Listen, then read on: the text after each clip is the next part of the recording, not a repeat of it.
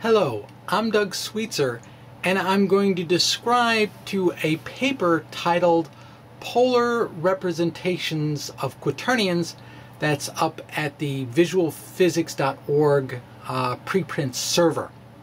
It's all of two pages, so hopefully I can't talk about it that long.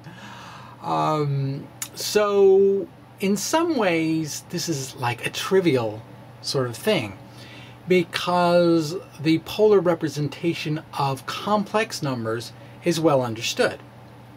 And with quaternions, what happens is instead of having just a factor of i, which is an imaginary number, there are actually three imaginary numbers, an i, a j, and a k, and if you substitute that for i, you get the same thing.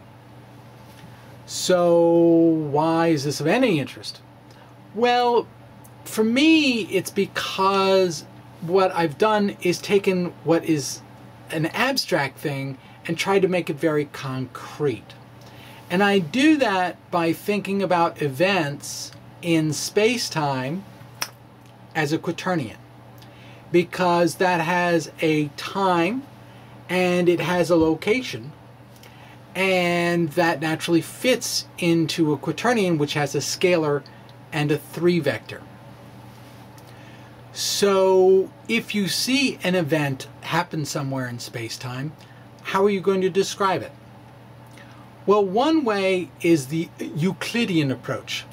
And what that supposes is that you have this infinite grid with rulers going through every point in space or close enough and clocks at those uh, points in space so that all you have to do when an event happens is look at the local clock, look at the local uh, ruler. This idea was at the origin of special relativity because in the around the 1900s people were very worried about trains crisscrossing Europe and making sure all the stations had exactly the same time. And it was that idea and some other ones that eventually led to special relativity. Well, there's another approach one could take. Let's say there's an event, and you could ask, well, what would it take to go from the origin to that event? How fast would you have to go? What direction would you have to go? And like completely ignore the whole grid thing. That is what the polar representations are all about. So there's this abstract notion of the origin. It can be anywhere, but uh, you got to choose one. You're free to choose. So the way I take this is that the origin should be where the observer is. And let me just take a me-centered universe. you can do this yourself.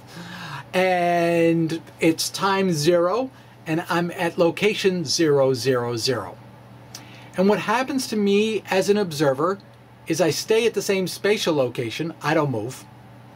Um, but I do grow older. So I'm going to definitely go through the point 1000. Now let's say there's an event that happens. Then it's going to be in a different spatial location. It's going to be at a different time. And I can calculate how fast I got to go to get there. What direction I have to go to get there. Okay, so what's when this really gets interesting though is when we like animate everything. Okay? And so um, and think about like what circles would look like animated, what right triangles would look at like. Because when you do this polar analysis, you always have that unit circle and you have a right triangle inside it looks, uh, I guess, something a little bit like that.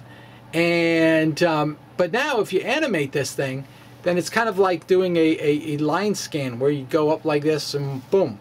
So what's interesting about that is that you would start with nothing, then you'd see the circle first as two points that rush away from each other, get out to their maximum extent.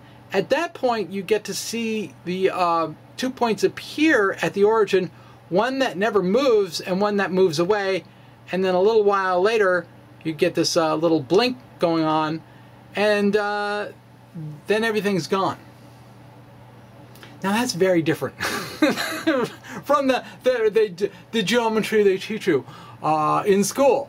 Because with these things, you come back uh, 16 years later, they're, they're still, you know, carved into uh, a, a, school desk. Um, but if you make everything dynamic, you know, in, in a second, poof, it's gone. Um, so what happens with the, uh, the observer is it just sits there. And what happens with, um, I, I, call it a beacon because it continually sends out uh, events. It starts at the origin, and then it moves away, and it eventually will meet uh, up with that unit circle, and um, that's another straight line. The, the, the, circle actually is quite amazing because it, it uh, if you think about it in terms of how fast is it going, half of the time it go it quote unquote goes faster than the speed of light.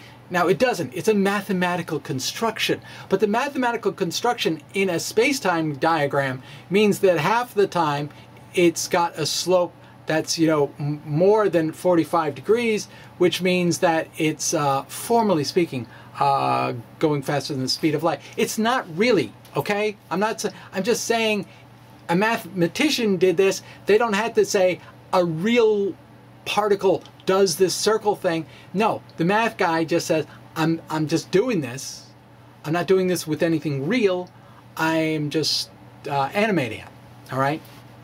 So um, what's neat is that that beacon that goes out and eventually meets the unit circle, it's got a velocity. It's got a constant velocity.